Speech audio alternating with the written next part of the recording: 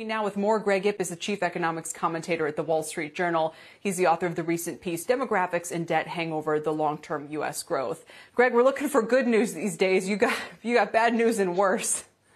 Yeah, sorry if you were uh, bothered about the short-term economic outlook. My bad news is that the uh, long-term outlook is actually worse.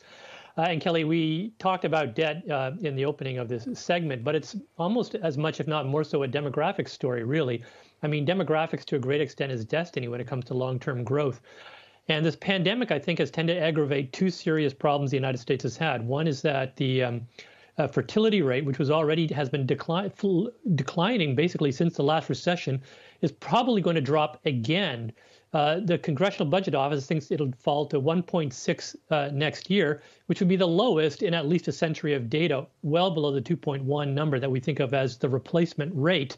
And so that alone is going to uh, put a serious drag on the population because kids not born next year will not be part of the labor force 20 years from now. Now, what do you do about low fertility? Well, you can increase immigration. But according to the CBO, we're going to have fewer immigrants too because of the uh, uh, barriers that were raised to immigration because of the pandemic and the fact that we're having fewer uh, undocumented coming in anyway. So you put those two things together, there's going to be a lot fewer Americans 20 to 30 years uh, from now.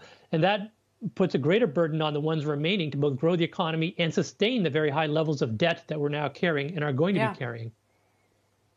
I mean, you could also increase the fertility rate, but that, they're trying that in other parts of the world with mixed success. You know, I asked the doctor when I was there the other day, I said, you know, are you seeing more or fewer patients than usual. And they said for a couple of months when the pandemic first broke out, it, they saw fewer than usual. But in the last few months, it's really picked up and they're seeing as many people in a week almost as they used to see in a month. Um, so perhaps there will be a catch up effect. But it, as we await the answer on that, tell me what you think about the debt situation. I mean, this is going to be the one that drives policymaking near term. Are you expecting something like a Tea Party movement? Would that be premature here? And how do we know what level is a level that hurts growth? Well, traditionally, the sign that you looked for was upward pressure on interest rates. That was the sign that all the government borrowing was competing with the private sector and squeezing out or crowding out private sector borrower, borrowers. That means less investment.